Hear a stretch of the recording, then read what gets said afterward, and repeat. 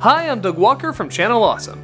At the end of our most popular show, Nostalgia Critic, we always do a charity shout out encouraging people to donate. While they've done well, we realize not everybody's in a financial situation where they can give, but everybody at some point or another can give time. So every month we're gonna try and show a new charity or organization that you can help out with. There's so many people in difficult circumstances, but thankfully there's always people who are willing to help, and you can be one of them. Whether it's volunteering or lending a helping hand, we're here to show you what you can do.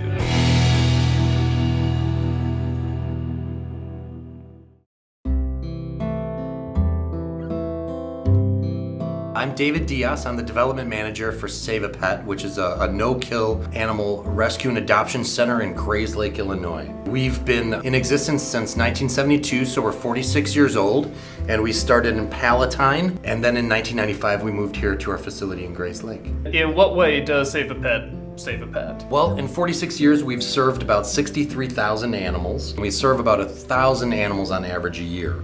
Uh, we deal with only cats and dogs. We are a true and pure no-kill mission here at Save a Pet.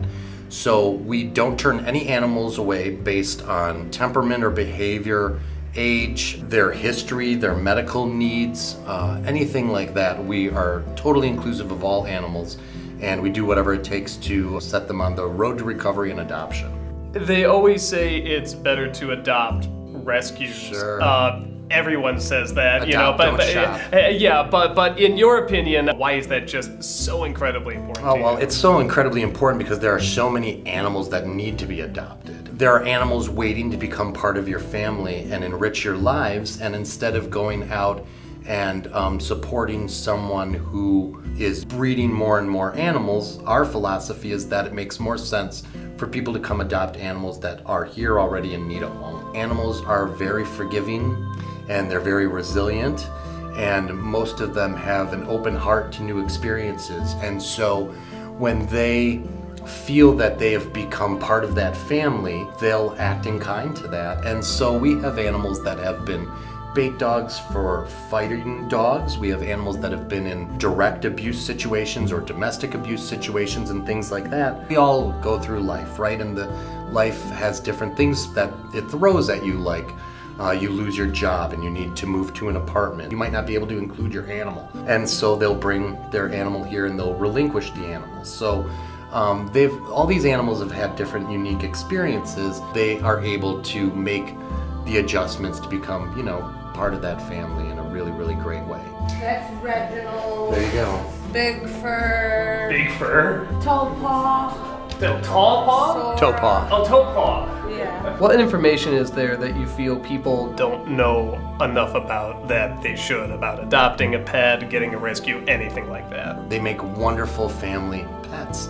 And I think that some people are a bit standoffish of that. They're just like any other dog, whether you adopt or um, or you purchase the dog, you know, they'll still find their role within the family. It's no different. It's just that these dogs have an immediate need to find a, family. Some shelters and rescues, the adoption process is super easy peasy and they don't take a lot of things into consideration, but we're really interested in having a successful long term adoption for that animal. If you're renting, uh, you should have your lease with you stating that you can have an animal. We ask that at some point during the process, everybody who lives in the home comes into Save a Pet and has an, an interaction with the animal. Is part of that because there's no rush, because there's not a fear that, you know, the animal's gonna be put down or anything like that, that you can take your time and really get the right animal for the right person? Yeah, I mean, that's part of it. We're in no rush. We don't take waiting lists and we don't hold animals for people. It's a first come, serve situation. Uh, that being said, um, you know, we're just trying to have the most successful experience for the animal. I don't want to sound trite, but people are secondary to us in this process. It's really all about the animal.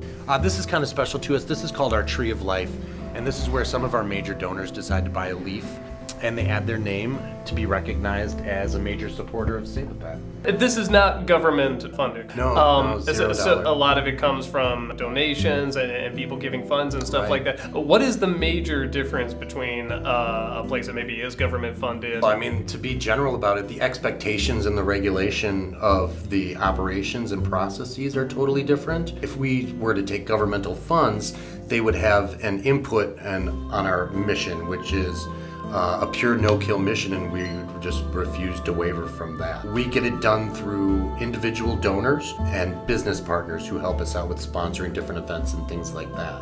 There's four or five different Save a Pets throughout the world, but we serve Lake County, and they're not affiliated with each other.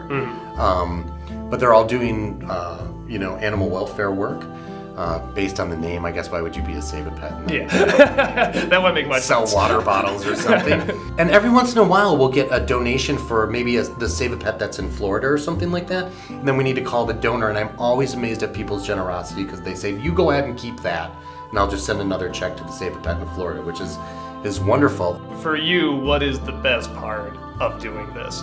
Well, I'm the development manager, so I have a big passion in helping people find, helping out what they're passionate about. It's like brokering a deal almost, right? You've got a donor here who wants to help out and wants to learn what they can do that will actually make a difference, right? And then we've got um, administration and leadership who needs to have costs covered. If we're going to put in a new parking lot, we need a new fence. So I really enjoy getting those two people in the same room and figuring it out with each other. Um, aside from that, seeing all the you know cute little animals around is always a bonus. I have a lot of animals at home. They're all rescue animals. Uh, although I've adopted two animals from Save a Pet, um, I'm taking a break right now. That's it.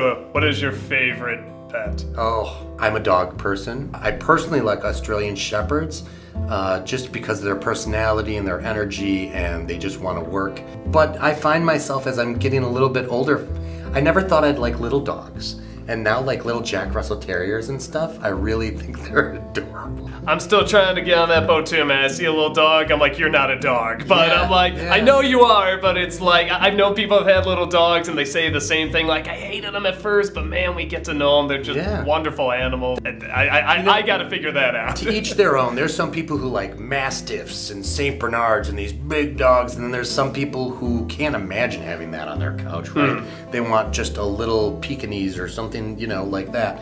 Um, what's great here at Save a Pet is that we've got all kinds of dogs, or a cat for everybody here. You just need to come in and make that connection and find out which one is for you.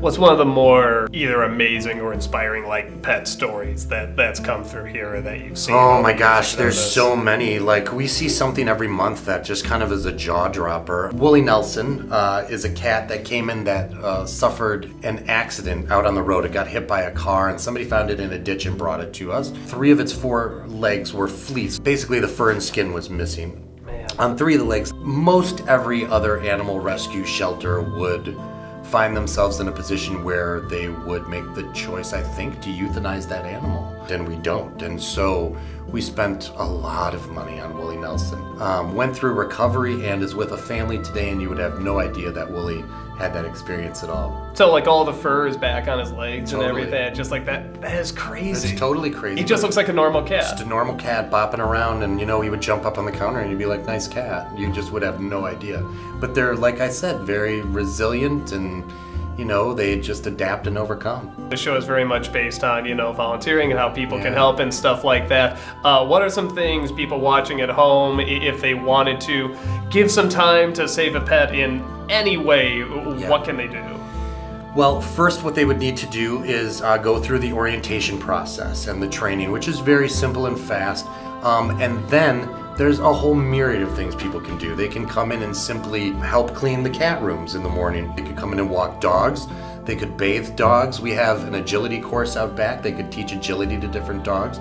We run a lot of offsite community outreach and fundraising events, so we're always looking for people to help take dogs and cats off-site to different events that are happening. Volunteer for uh, fundraising committees to help us raise money, and they can bring their friends and family and, and turn them into volunteers and Save a Pet supporters as well. Some people would just donate like a bird feeder. If somebody's like, hey, I want to donate blank to Yeah. save a pet, I mean, is that something they can do? They can contact you and Yeah, they can donate absolutely. Yeah, um, you can find my information on the website, uh, but you can email me or call me, or just call the front desk and we can figure all of that out. But uh, literally on a daily basis, I talk to people who um, if maybe had a dog pass and they bring in all of his stuff, which is really a sad one. And then we've got somebody who just had the day off and they decide they're gonna go to a store and buy a hundred bucks worth of pet stuff and bring it to Save a Pet. That's cool. Yeah, it's very cool, and we don't, we can't do it without people like that. So whether people want to volunteer, donate, give time, give money, whatever they want you to do, I want you to look right in that camera and tell them what website they can go to and what place they can go to. You need to go to www.saveapetil.org and you need to do that right now because these animals are counting on you. Thank you. And they are adorable. These are cute animals. We've Thank some you cute so puppies. much, man. Thanks, thanks, Doug. thanks for coming out today. We Thank you, thank you for appreciate it. having us, man. Yeah, yeah, thank you.